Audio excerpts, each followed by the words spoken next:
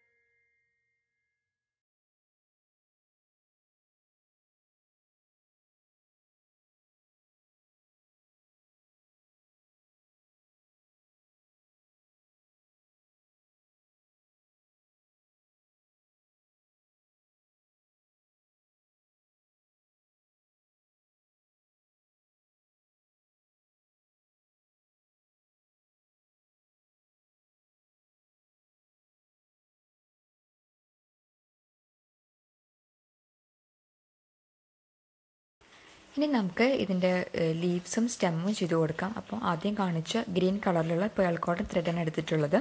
അപ്പോൾ pearl cotton thread ആയതുകൊണ്ട് ഇത് വൺ സ്റ്റാൻഡിൽ എടുത്തു. ആങ്കർ ത്രെഡ്സ് ആണെങ്കിൽ ഇത് ത്രീ സ്റ്റാൻഡ്സിൽ എടുത്താൽ മതി. അപ്പോൾ ആദ്യം ഞാൻ ഇവിടെ ചെയ്യുന്നത് സ്റ്റെം സ്റ്റിച്ചാണ് ജസ്റ്റ് ഒരു രണ്ട് ലൈൻ കൊടുത്താൽ മതി. എന്നിട്ട് അതിന്റെ രണ്ട് സൈഡിലും ലേസ് ഡേയ്സ് ചെയ്ത് കൊടുക്കുകയാണ്. ലീഫിനായിട്ട് ലേസ് ഡേയ്സിയാണ് ചെയ്യുന്നത്. ഇത് വളരെ സിമ്പിളാണ് ചെയ്യാനായിട്ട്. വളരെ ഈസി ആയിട്ട് എല്ലാവർക്കും ചെയ്യാൻ പറ്റുന്ന ഒരു വർക്കാണ്